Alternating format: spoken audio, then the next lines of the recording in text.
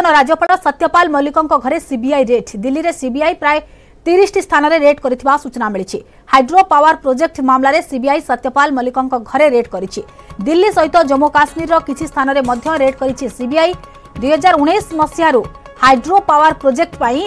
ବାଇଶଶହ କୋଟିର ସିଭିଲ୍ କାମରେ ଦୁର୍ନୀତି ହୋଇଥିବା ଅଭିଯୋଗ ହୋଇଥିଲା ଦୁଇହଜାର ଅଠର ଅଗଷ୍ଟ ମାସରୁ ଦୁଇହଜାର ଉଣେଇଶ ଅକ୍ଟୋବର ମାସ ପର୍ଯ୍ୟନ୍ତ ଜମ୍ମୁ କାଶ୍ମୀରରେ ରାଜ୍ୟପାଳ ଥିଲେ ସତ୍ୟପାଲ ମଲ୍ଲିକ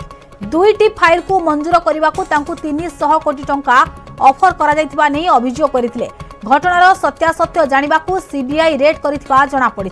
সেপটে সত্যপাল মল্লিক প্রতিক্রিয়া রাখিছেন সে কিন্তু যে গত তিন চারিদিন হল সে অসুস্থ অনেক হসপিটাল ভর্তি হয়েছেন ତାଙ୍କ ଡ୍ରାଇଭର ସହାୟକଙ୍କୁ ମଧ୍ୟ ବିନା କାରଣରେ ହଇରାଣ କରାଯାଉଛି ସେ ଜଣେ ଚାଷୀର ପୁଅ ସେ କେବେ ବି ଡରିବନି ବୋଲି କହିଛନ୍ତି